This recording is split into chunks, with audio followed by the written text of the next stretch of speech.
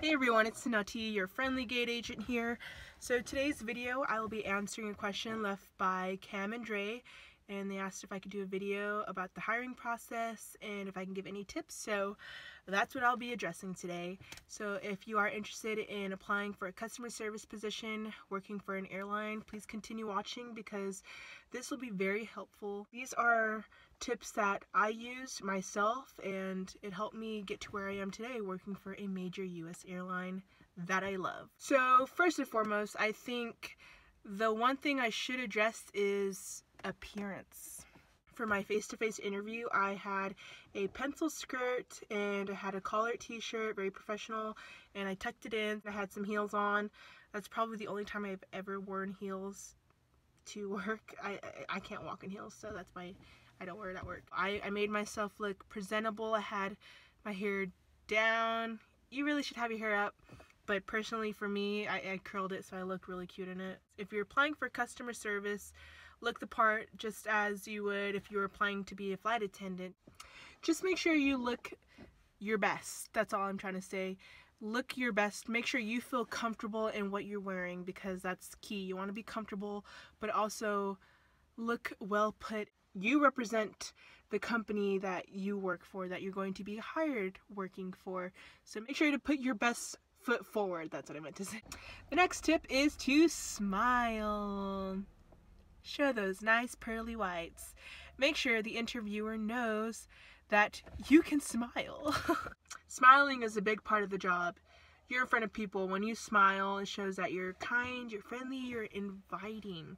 So smile when you go in for your interview. That is what I did. Um, I smiled almost the entire time I was being interviewed. Even my interviewer asked me, Are you sure you're not interviewing for Miss America?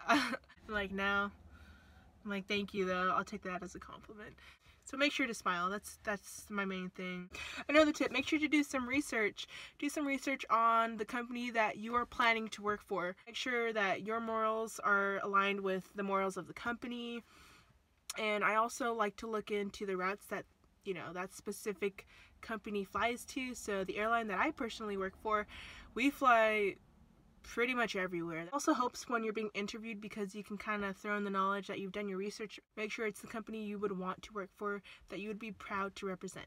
Another thing is experience. So my very first job I actually worked with an airline. It was actually a third party. That's where I got my first experience. That's where I got my first taste of the aviation life. If you get hired as a subcontractor like I did when I first graduated from high school, you know don't don't brush it off you know take it. That's that's your one foot in the door. So take every opportunity as a major opportunity. Don't think you're too good for something you know. People tend to kind of overlook things because they aren't what they want it to be. Experience is what is going to put your resume ahead of others when potential employers are looking through for candidates that they think are qualified for the job. Bloom where you're planted is what I'm trying to say. The questions that they ask that um, I personally hate. It's when it's those scenario questions. They're going to give you situations and they just want to see how you would react to it. I've been in these situations when I got hired, so it really helped me because I kind of knew what to expect. Funny thing is actually, um, I went to an interview with Alaska Airlines before I got hired with my airline. They start with a big group interview and then you finally go on to one-on-one if you get past that stage. And I went to one-on-one interview and they asked me one question. It just happened to be the very last question and I just stared at them. I was just like can you give me an example? But don't ever ask the interviewer can you give me an example yeah learn from me learn from just make sure to practice ahead of time vocalizing what you're going to say, it really helps. It makes a huge difference. The airline that I currently work for, I applied in July and I didn't hear anything from them. So that's when I just kept applying for other airlines. I kept getting rejected. November is when I finally got a call back. Finally went to the interview. I aced that interview and I got hired. It took five months, a total of five months from actually applying to getting hired. And then on top of that, it took another month because what happens when you work for an airline Well, you have to do all these background clearances. I skipped a final. I skipped a final to go to my training. That's how that's how much I wanted to work for this airline. I ended up getting a C in that class. A C. That's the only C on my um, transcript from my university. I graduated with honors still. But yeah, so it's a long process. So, you know what? Don't give up, especially if you want to work for a specific airline. When the time comes, you will get hired. So, don't give up.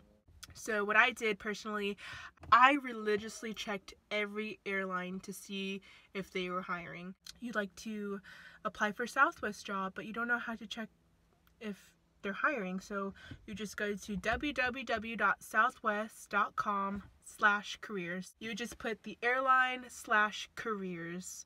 I applied for a position in, I think it was Chicago. I don't even live in Chicago and I applied for it. That's how desperate I wanted to work for an airline. So I checked every airline. I had a phone interview with Virgin. I obviously didn't pass that. Actually, no, I didn't. I couldn't even pass the survey. That's what happened. I didn't pass the survey. Uh, Southwest, uh, I guess I didn't pass the phone interview with Alaska. I didn't pass the one-on-one interview because that one question. I mean, I really wanted to work for Alaska at the time, but I also wanted to work for the company that I work for now. And you know, when I when I got that rejection from Alaska after a one-on-one interview, I just had so much peace. God gave me so much peace. Um, so I knew, you know, this is this is not the airline I'm supposed to work for. If you were interested in working for an airline, you're not limited to just customer service or flight attendant or being a captain. There are other options, other career paths that you can do. You can be a ramp agent, uh, doing all the cargo and all the bags, or you can be a technician. You can be a zone controller which overlooks the entire operation. You can be so many things. You can go into corporate. There's so much growth opportunities in airlines. It's ridiculous. So if you're interested in working for an airline, apply. Go ahead, do it. You know, what's the worst that can happen? You get a rejection letter or you get a rejection email and in today's time and age you get a rejection email. So don't give up keep applying, keep trying, because the airline that is lucky to have you will hire you. Hopefully I answered your questions, Cam and Dre. I tried to do it as best as I can. Um, I, yeah, I tried. I really did try. I, I literally have a notebook that I wrote down. If you have any other questions, please let me know in the comments down below. I'll do my very, very best to answer them. So, if you liked today's video, go ahead and give it a thumbs up. And if you like to see more videos from me, click that subscribe button. But other than that, I will see you the next time, hopefully sometime this week. Alrighty, have a great day. Bye.